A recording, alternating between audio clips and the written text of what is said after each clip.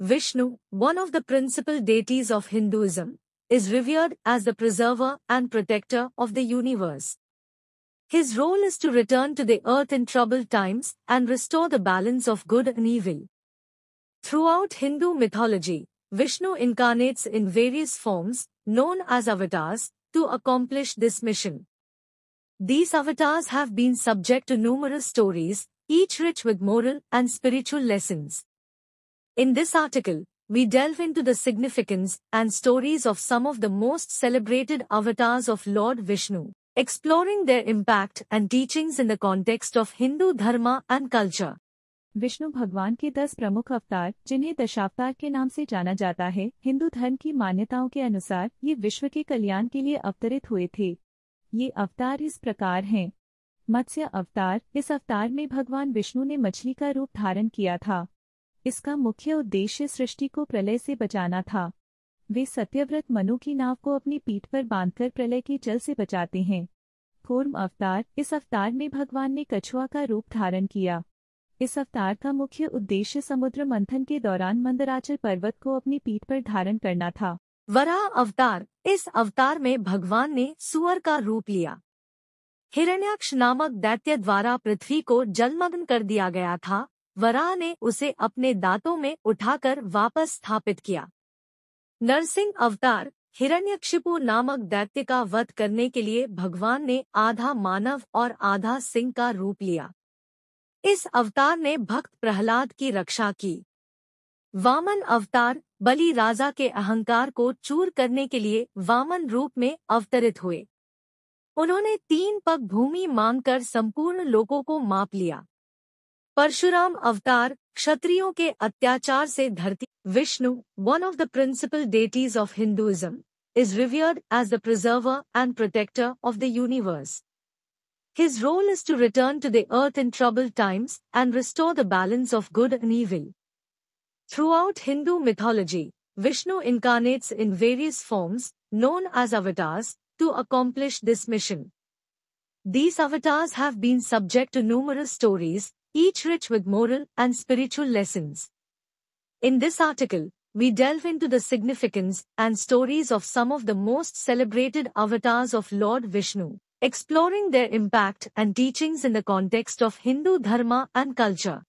Vishnu भगवान के दस प्रमुख अवतार जिन्हें दशावतार के नाम से जाना जाता है हिंदू धर्म की मान्यताओं के अनुसार ये विश्व के कल्याण के लिए अवतरित हुए थे ये अवतार इस प्रकार हैं मत्स्य अवतार, इस अवतार में भगवान विष्णु ने मछली का रूप धारण किया था।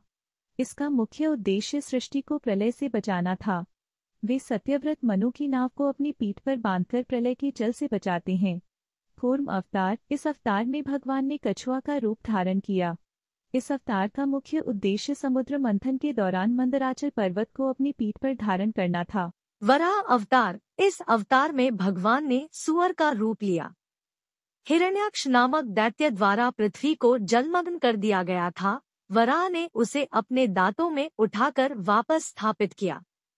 नरसिंह अवतार, हिरण्यक्षिपु नामक दैत्य का वध करने के लिए भगवान ने आधा मानव और आधा सिंह का रूप लिया। इस अवतार ने भक्त प्रहलाद की रक्षा की। वामन अवतार, बलि राजा के अहंकार को चूर करने के लिए वामन रूप में अवतरित हुए। उन्होंने तीन पग भूमि मांगकर संपूर्ण लोगों को माप लिया। परशुराम अवतार क्षत्रियो के अत्याचार से धर Vishnu one of the principal deities of Hinduism is revered as the preserver and protector of the universe his role is to return to the earth in trouble times and restore the balance of good and evil throughout Hindu mythology Vishnu incarnates in various forms known as avatars to accomplish this mission. These avatars have been subject to numerous stories, each rich with moral and spiritual lessons. In this article, we delve into the significance and stories of some of the most celebrated avatars of Lord Vishnu, exploring their impact and teachings in the context of Hindu dharma and culture.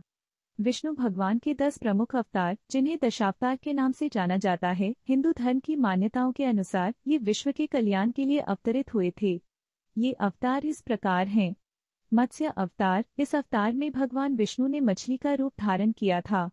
इसका मुख्य उद्देश्य सृष्टि को प्रलय से बचाना था। वे सत्यव्रत मनु की नाव को अपनी पीठ पर बांधकर प्रलय के जल से बचाते हैं। कूर्म अवतार, इस अवतार में भगवान ने कछुआ का रूप धारण किया। इस अवतार का मुख्य उद्देश्य समुद्र मंथन के दौरान मंदराचल पर्वत को अपनी पीठ पर धारण करना था। वराह अवतार, इस अवतार में भगवान ने सुअर का रूप लिया। हिरण्याक्ष नामक दैत्य द्वारा पृथ्वी को जलमग्न कर दिया गया था। वराह ने उसे अपने दांतों में उठाकर वापस स्थापित किया। नरसिंह अवतार, हिरण्यक्षिपु नामक दैत्य का वध करने के लिए भगवान ने आधा मानव और आधा सिंह का रूप लिया। इस अवतार ने भक्त प्रहलाद की रक्षा की। वामन अवतार बलि राजा के अहंकार को चूर करने के लिए वामन रूप में अवतरित हुए। उन्होंने तीन पग भूमि मांगकर संपूर्ण लोगों को माप लिया। परशुराम अवतार क्षत्रियों के अत्याचार से धर Vishnu one of the principal deities of Hinduism is revered as the preserver and protector of the universe. His role is to return to the earth in troubled times and restore the balance of good and evil. Throughout Hindu mythology, Vishnu incarnates in various forms, known as avatars, to accomplish this mission. These avatars have been subject to numerous stories, each rich with moral and spiritual lessons. In this article, we delve into the significance and stories of some of the most celebrated avatars of Lord Vishnu, exploring their impact and teachings in the context of Hindu dharma and culture. Vishnu भगवान के दस प्रमुख अवतार, जिन्हें दशावतार के नाम से जाना जाता है, हिंदू धर्म की मान्यताओं के अनुसार ये विश्व के कल्याण के लिए अवतरित हुए थे। ये अवतार इस प्रकार हैं। मत्स्य अवतार, इस अवतार में भगवान विष्णु ने मछली का रूप धारण किया था। इसका मुख्य उद्देश्य सृष्टि को प्रलय से बचाना था। वे सत्यव्रत मनु की नाव को अपनी पीठ पर बांधकर प्रलय के जल से बचाते हैं। कूर्म अवतार, इस अवतार में भगवान ने कछुआ का रूप धारण किया। इस अवतार का मुख्य उद्देश्य समुद्र मंथन के दौरान मंदराचल पर्वत को अपनी पीठ पर धारण करना था। वराह अवतार, इस अवतार में भगवान ने सुअर का रूप लिया। हिरण्याक्ष नामक दैत्य द्वारा पृथ्वी को जलमग्न कर दिया गया था। वराह ने उसे अपने दांतों में उठाकर वापस स्थापित किया। नरसिंह अवतार, हिरण्यक्षिपु नामक दैत्य का वध करने के लिए भगवान ने आधा मानव और आधा सिंह का रूप लिया। इस अवतार ने भक्त प्रहलाद की रक्षा की। वामन अवतार, बलि राजा के अहंकार को चूर करने के लिए वामन रूप में अवतरित हुए। उन्होंने तीन पग भूमि मांगकर संपूर्ण लोगों को माप लिया। परशुराम अवतार, क्षत्रियों के अत्याचार से धरती